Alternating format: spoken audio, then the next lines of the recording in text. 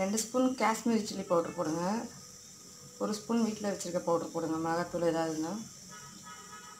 கொஞ்சம் சால்ட்டு போட்டுக்கலாம்.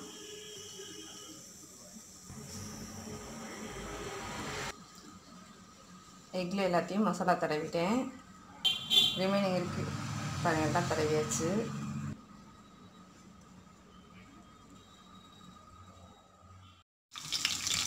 நான் நான் சட்டிலே வச்சுருக்கேன். நீங்கள் தோசை தவா இருந்தால் தோசை தவாவில் திருப்பி போட்டுக்கோங்க. திருப்பி போட்டு தான் வேக விடணும்.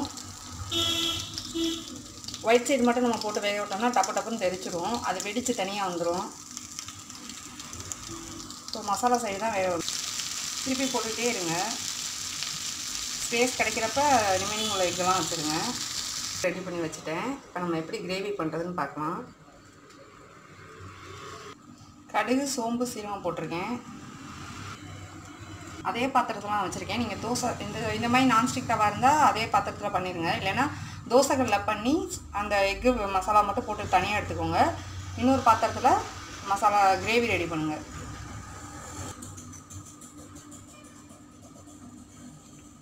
ஆனியன் தக்காளி போடுறேன். நாலு பச்சை மிளகாய்.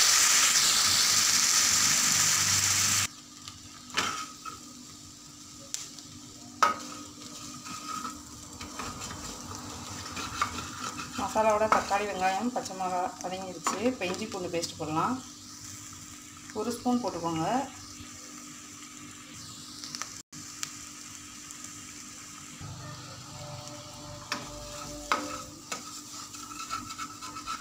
நல்லா இஞ்சி பூண்டு கிளறி கிளறி வரணும். கீழே உள்ள மசாலா பிடிக்கக்கூடாது.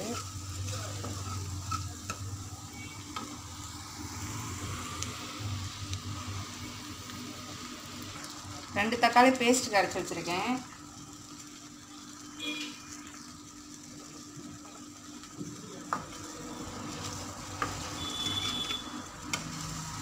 அதையும் போட்டு நல்லா கிண்டிக்கோங்க.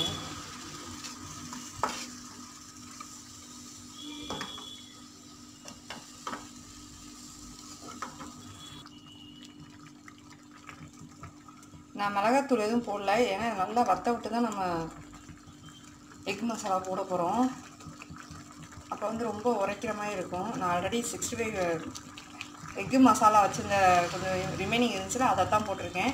உங்களுக்கு தேவைன்னா கொஞ்சம் தூள் போட்டுக்கோங்க. கரம் மசாலா பவுடர் மட்டும் ஒரு ஸ்பூன் போட்டுக்கோங்க.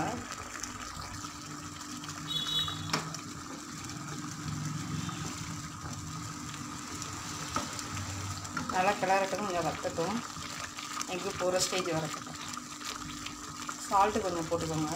இந்த திக்னஸ்க்கு தேவையான சால்ட்டு. எக்கு மசாலாவில் சால்ட் இருக்கும். அதனால் கொஞ்சம் கம்மியாகவே போட்டுக்கோங்க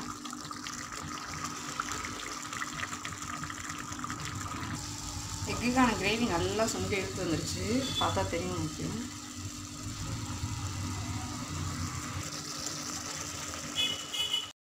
இஞ்சி பூண்டு பேஸ்ட் போடலாம். ஒரு ஸ்பூன் போட்டுக்கோங்க.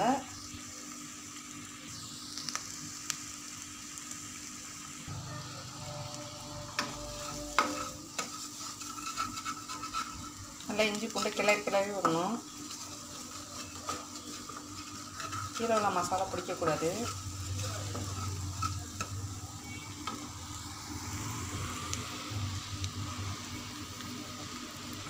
ரெண்டு தக்காளி பேஸ்ட் கரைச்சி வச்சுருக்கேன்.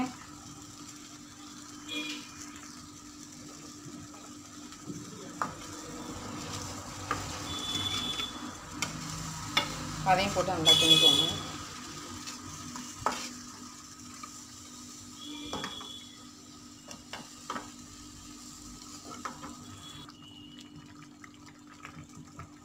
நான் மிளகாத்தூள் எதுவும் போடல. ஏன்னா நல்லா வத்த விட்டு தான் நம்ம எக் மசாலா போட போகிறோம் அப்போ வந்து ரொம்ப உரைக்கிற மாதிரி இருக்கும். நான் ஆல்ரெடி சிக்ஸ்டி ஃபைவ் எக்கு மசாலா வச்சுருந்த கொஞ்சம் ரிமைனிங் இருந்துச்சுன்னா அதை தான் போட்டிருக்கேன். உங்களுக்கு தேவைன்னா கொஞ்சம் தூள் போட்டுக்கோங்க. கரம் மசாலா பவுடர் மட்டும் ஒரு ஸ்பூன் போட்டுக்கோங்க.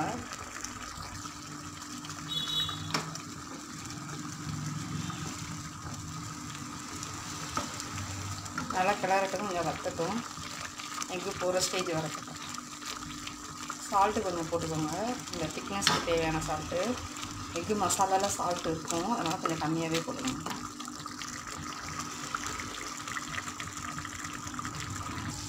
எக்குக்கான கிரேவி நல்லா சுண்டி எடுத்து வந்துருச்சு. பார்த்தா தெரியும் முக்கியம்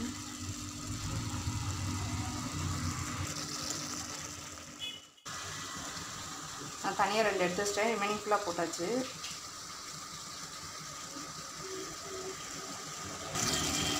தெரியும். இப்போ நல்லா எண்ணெயெல்லாம் மேலே வந்திருக்கும். இப்போயுமே நம்ம செய்கிற கிரேவி வந்து எண்ணெய் பிரிஞ்சு மேலே வரணும்.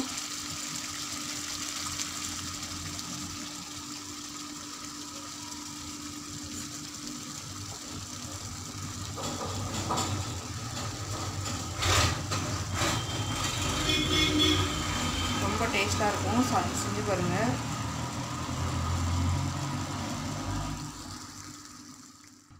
எக்கு கிரேவி செஞ்சு பாருங்கள் ரொம்ப பிடிச்சிருந்தா லைக் பண்ணுங்கள்